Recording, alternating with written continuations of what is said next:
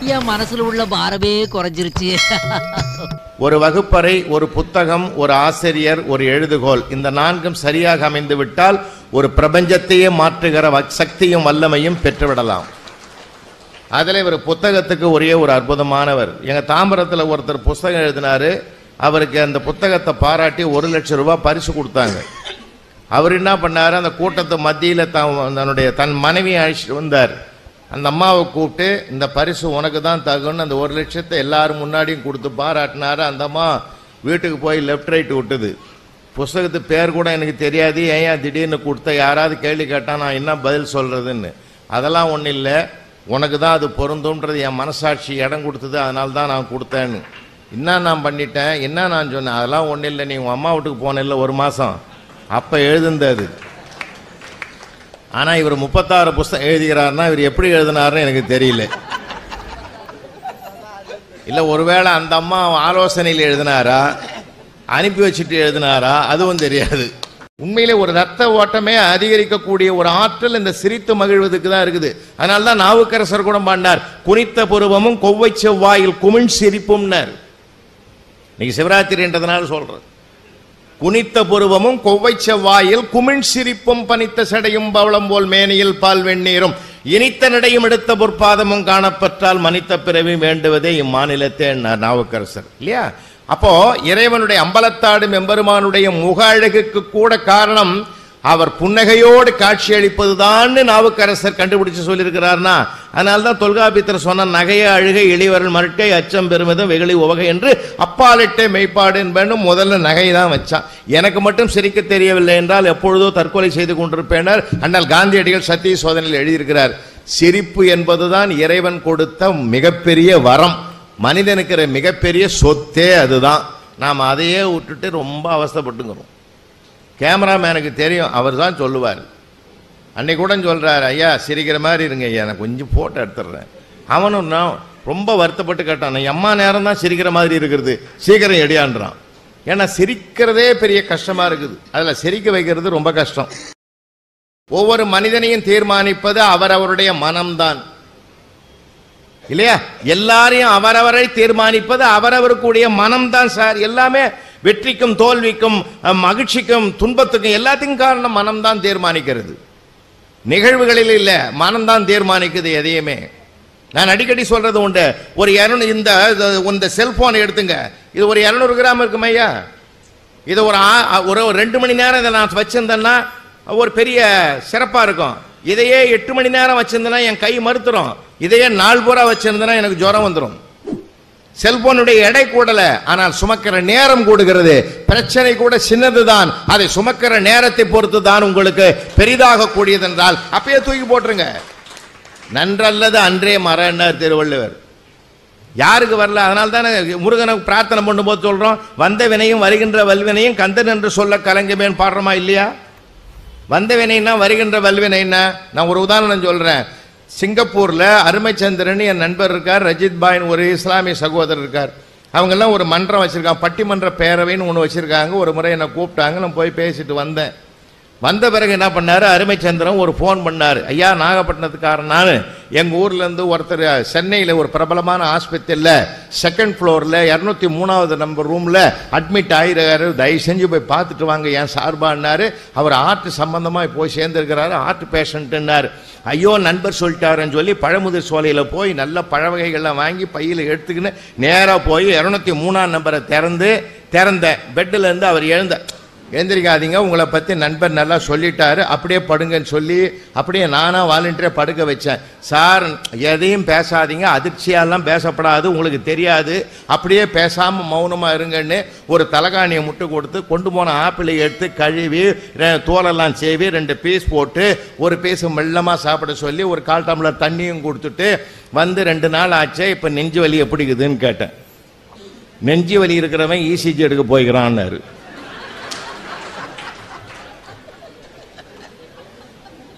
எனக்கு எப்படி இருந்திரும் கொஞ்சம் கற்பனை பண்ணி பாருங்க. அப்போ நான் கேட்டேன் அப்போ நீ யாருன்னு. ரெண்டு நாள் அவனுக்கு துணையாக உக்காந்துங்கிறேன். இடுப்பு வலி தாங்கலை பெட்டு காலியாகுதுன்னு பத்தேன்னா இதை ஏன் சொல்லலை? நான் தான் சொல்ல வந்தேன் பேசாத பேசாதன்னு சொன்னது நீ தானே அப்போ தவறு நம்ம தானே அது? இதான் வருகின்ற வல்வினை நாமளாக தேடிக்கிறது. இதுக்காக நாம் போய் வருத்தப்பட்டு உட்காந்துருக்கலாமா அதை ஈஸியாக எளிமையாக எடுத்துகிட்டு போயிட்டே இருக்க வேண்டியது தான் அங்கே போய் அதுக்கு பெரிய சங்கடப்பட்டு நான் இப்படி பண்ணிட்டேன் நான் இப்படி பண்ணிட்டேன்னு ஒரு நாள் பூரா அழுது என்ன பிரயோஜனம்? நம்ம உடம்பு தான் கெட்டுப்படும். அதனால தான் சொன்னார் மாற்று மருந்து எதிரானார் மனக்கவலைக்கு தேர் மனக்கவலை இல்லாத மனுஷன் உலகத்தில் உண்டா? எல்லா மனிதனுக்கும் இருக்குது சார். எல்கேஜியிலேருந்து இருந்து பிரதமர் பதவியில் இருக்கிற எல்லா அத்தனை பேருக்கும் இருக்குது. யாருக்கும் இல்லாமல் இல்லை.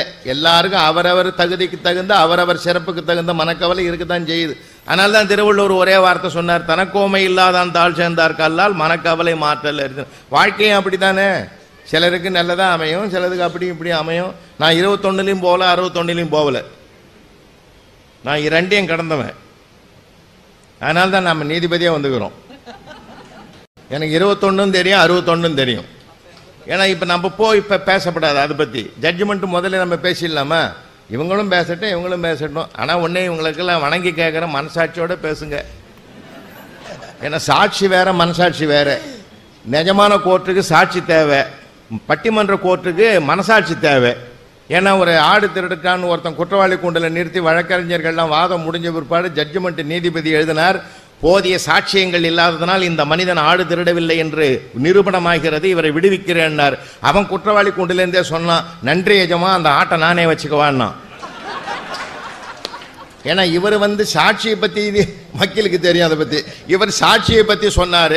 அவன் மனசாட்சியோட பேசுகிறான் இல்லைங்களா? அதனால தான் பார்த்தீங்கன்னா இந்த பட்டிமன்றத்தை பொறுத்தவரையில் இருபத்தொன்று அறுபத்தொன்று இருக்கட்டும். ஏன்னா நம்ம அதில் போய் பேசினா இந்த இவர் நினச்சது நான் சொன்னால் அவங்க நினச்சது நம்ம வேண்டாம். அது நீ தீர்ப்புரையில் நம்ம பார்த்துக்குவோம் நீங்களும் உட்காந்துருக்கிற அவையில் பார்த்தீங்கன்னா எல்லாமே அனுபவசாலியாக தான் உட்காந்துங்கிறீங்க ஏன்னா ஒவ்வொருவருடைய பேசும்போது ஆமாம் ஆமாம் ஆமாம் அப்படி தான் அப்படி தான் அப்படி தான் ஏன்னா இன்றைக்கி இருக்கிற காலம் அப்படி இருக்குது. மெரினா பீச் பக்கமாக நான் போய்ங்கிறேன் ஒரு பையனும் பொண்ணும் உட்காந்து பேசிங்கிறாங்க. அவன் பார்த்து சொல்கிறான் முன்னாடி வந்த நேரத்துலேருந்து ஒரே சோகமாக உட்காந்துங்கிற எந்த வார்த்தையும் நல்ல வார்த்தையாக பேச மாட்டேற மௌனமாக இருக்கிற? போடா போடா. ரொம்ப மனசு கஷ்டமாக இருக்குதுடா. என்ன தேடி கஷ்டப்படுற? என்ன ஆச்சு உனக்கு? இல்லை நம்ம காதல் எங்கே கல்யாணத்தில் முடிஞ்சிருமோன்னு பயமாக இருக்குது.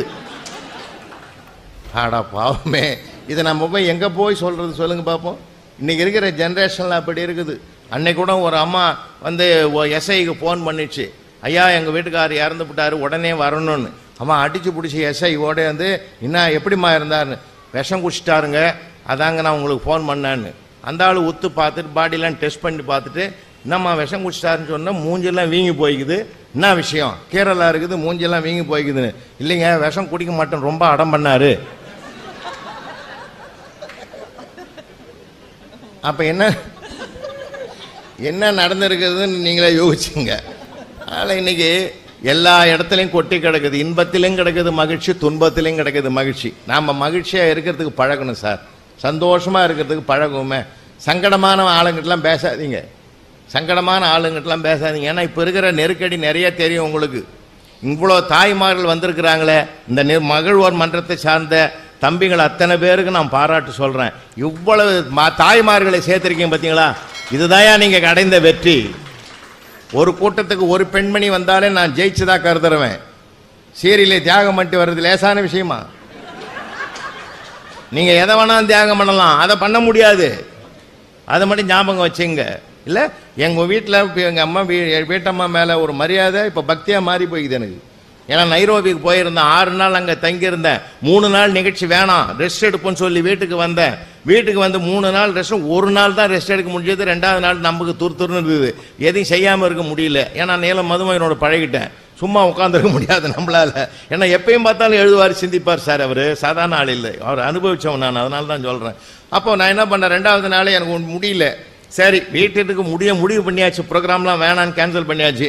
வீட்டுக்காரிக்காக உதவியாக இருப்பேன்னு காய்கறிலாம் அரிக்கி நறுக்கி நறுக்கி கொடுத்தா அவளுக்கு ரொம்ப சந்தோஷம். ஆரம்ப காலத்துலேருந்து இப்படி செஞ்சுருந்தா எவ்வளோ நல்லா இருந்திருக்கோம்னா. இதை முடியிறப்ப செய்கிறேன் அதை அதை அதை மட்டும் எடுத்துக்கோன்னு. கட கட கடைன்னு பத்து மணிக்கெலாம் சமையல் முடிச்சுவிட்டா எனக்கு ஆச்சரியம். இந்த ஏஜ்லையும் இவ்வளோ ஸ்பீடாக செய்கிறேன்னு அப்புறம் தான் பத்தரைக்கு சேரியல் தொடங்குதுன்னு தெரியும்.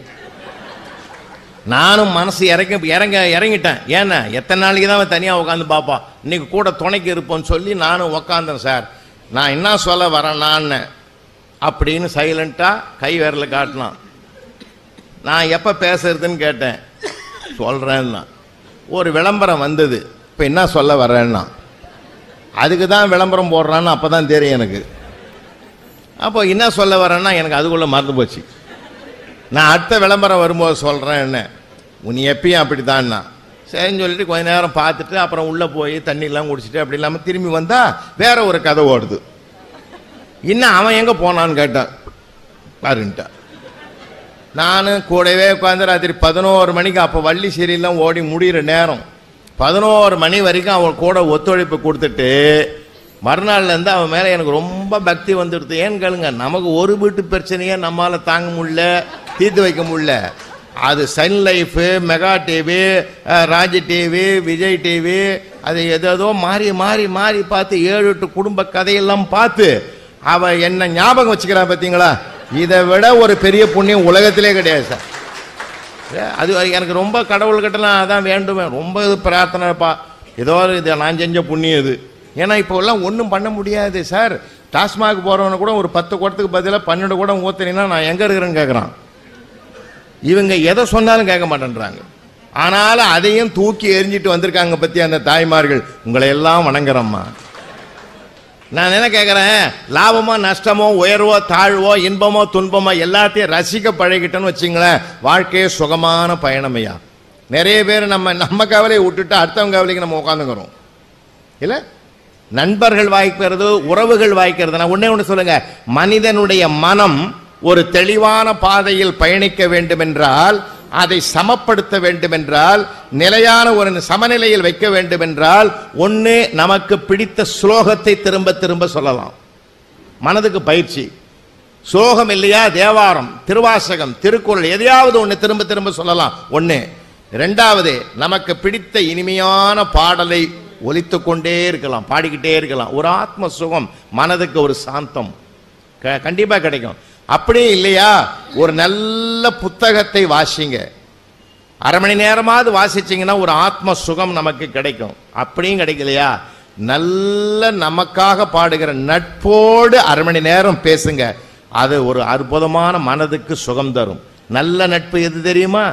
ஏதேனும் ஒரு துன்பம் நேரிட்டால் கடவுள் பார்த்துக்கிறான்னு சொல்றானே அவன் நண்பன் இல்லை.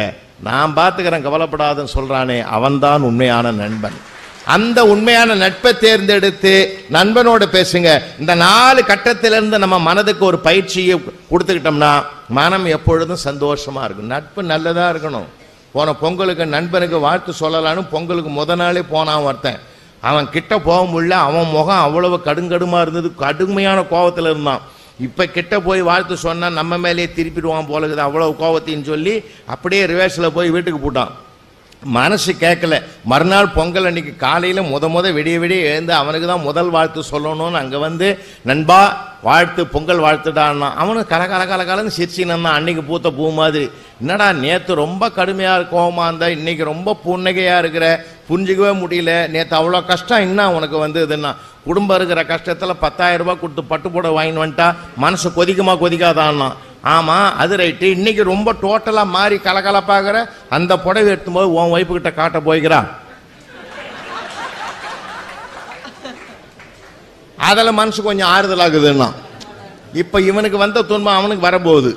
நேற்று இவன் பட்ட துன்பம் அவனுக்கு வரப்போகுது. இது இது நட்பல்ல. முகநக நட்பது நட்பென்று நெஞ்சத்து அகநக நட்பது நட்புன்னா. எல்லாத்தையும் தீர்மானிக்கிறது நம்ம மனம்தான் சார் அந்த மனதை சரியாக வச்சுங்க. அதனால்தான் மனம் என்பது கவலைக்கு ஆளாகாமல் மகிழ்ச்சிக்கு மையமாக இருக்குமானால் மனம் என்பது மூளை சார்ந்தது என்றது விஞ்ஞானம் சொல்லுது. மனம் என்பது இதயம் சார்ந்தது என்பது நம் தேசத்து ஆன்மீகம் சொல்லுது. ஏன் இதயம் சார்ந்தது? ரொம்ப ரொம்ப ரொம்ப ஒரு சிந்தனையானது அது. ஃப்ராய்டு கூட சொல்லுவான் மேல்மனம் நடுமனம் ஆழ்மனம்னு. மேல்மனம் என்னை பற்றிய சிந்தனை நடுமனம் பிரத்யாரை பற்றி சிந்தனை ஆழ்மனம் ஆண்டவனை பற்றிய பரம்பொருளை பற்றிய சிந்தனை. இந்த ஜீவாத்மாவையும் பரமாத்மாவையும் இணைக்கிற பாலமாக இருப்பவன் தான் ஆச்சாரியன். அதான் குருன்னு பேர். அந்த மனம் என்பதுதான் மனிதனை தீர்மானிப்பது. மனம் என்ற சொல்லிலிருந்தான் மனிதன் என்ற சொல்லே வந்தது. தென்கட்சி சுவாமிநாதன் இன்று ஒரு தகவல் சொல்லுவார் இல்லையா? அவர் மாதிரி ஒரு பிரபலமானவர் அறிஞரை நீங்கள் பார்க்கவே முடியாது. ஏன்னா அவர் எப்பயுமே பார்த்தீங்கன்னா ஆல் இண்டியா ரேடியோவில் தான் பேசினார் பல ஆண்டுகள். முகங்காட்டாமலே முகவரி பெற்ற ஒரு தமிழறிஞர் உண்டு என்றால் அவர் ஒருவர் தான். அற்புதமான மனிதர் சார். நானும் அவரும் ட்ரெயினில் ஏறுறோம். விழுப்புரம் ட்ரெயினில் ஜங்ஷனில் வைகை வைகை எக்ஸ்பிரஸ் நிற்குது நின்ன உடனே ஐயா சொன்னார் மறக்க முடியாத சில நறுமங்கள் நிறைய இருக்குது அவரோட எனக்கு. எங்கேயோ மசாலா வடை வாசனை கமகமன்னு வருது சார். ஐநூறுரூவா செலவு பண்ணி நம்ம வீட்டில் பண்ணாலும் அவ்வளோ வாசனை வரமாட்டேன்னுது. அஞ்சு ரூபா கொடுத்து வாங்குற வடையில் தான் அவ்வளவு சுகமாக இருக்குது அவ்வளோ வாசனை வருது.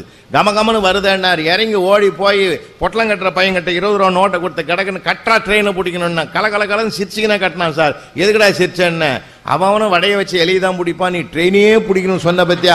அதை நினச்சி எனக்கு சிரிப்பாக இருந்ததுன்னா அதுக்குள்ள ஒரு ஒரு மகிழ்ச்சி மகிழ்ச்சி அவன் கண்டுபிடிக்கிறான் பார்த்தீங்களா வாங்குற சம்பளம் இருபத்தஞ்சுன்னு வருத்தப்படலை சார் அவன். அதுக்குள்ள ஒரு மகிழ்ச்சி தேடுறான் பார்த்தீங்களா அவன் தான் நல்ல மனம் உடையவன் நான் நான் மதிக்கிறேன். அதுதான் நம்ம என்னைக்குமே பார்க்கணும். ட்ரெயினில் ஏறி உட்காந்தோம் சார். உட்காந்த உடனே ட்ரெயின் மூவ் ஆகுது. டிடிஆர் வந்தார். எங்கள் எதிர் சீட்டில் உட்காந்துக்கிறவனை பார்த்து டிக்கெட் எடுன்னார். எடுத்து கொடுத்தான் சார். எடுத்து கொடுத்த உடனே டிடிஆர் சொன்னார் இந்த டிக்கெட் செல்லாதுன்னார். உடனே அவன் கேட்டான் செல்லாத டிக்கெட்லாம் ரயில்வே டிபார்ட்மெண்ட்டில் அடிக்கிறீங்களான்னா அவன் அப்படியே திருப்பிட்டான். அவர் சொன்னார் அப்படிலாம் இல்லைப்பா. பின்ன இந்த டிக்கெட் இங்கே விழுப்புரம் ஜங்ஷனில் தான் வாங்கினேன். செல்லாதுங்கிற? ஐயா நான் சொல்கிறது கொஞ்சம் புரிஞ்சுங்க. நீங்கள் வாங்கியிருக்கிறது பேசஞ்சர் டிக்கெட்டு இது எக்ஸ்பிரஸ்ஸு நீங்கள் வாங்கின பேசஞ்சர் டிக்கெட் இதுக்கு செல்லாதுன்னு நான் சொல்ல வந்தேன்னார். அவன் கேட்டான் பேசஞ்சர்னா என்ன எக்ஸ்பிரஸ்னா என்னன்னா? ஆஹா ஒரு மேட்ரு கிடைக்குது. நமக்கு நானும் ஆர்வமாக பார்த்தேன். இவர் சொன்னார் எக்ஸ்பிரஸ்னால் வேகமாக போகும். பேசஞ்சர்னா ஸ்லோவாக போகும்னார். அப்போ இந்த ட்ரெயின் வேகமாக போகுதுன்றீங்க. அவர் என்ன ஆயினார் பாரு ஒரு மாதிரி ஆயிட்டாரு. ஆமான்னாரு. இப்போ நான் என்ன செய்யணும்னு அடுத்த கேள்வி கேட்டான். திண்டிவனம் ஸ்டா அடுத்த ஸ்டாப்பிங் இறங்கிடுன்னாரு. ஒன்று செய்யலாமே டிடிஆர் சார் பார்த்தா நல்ல மனுஷனாக இருக்கிறீங்க. வேகமாக போகிற இந்த ரயிலை ஸ்லோவாக போய்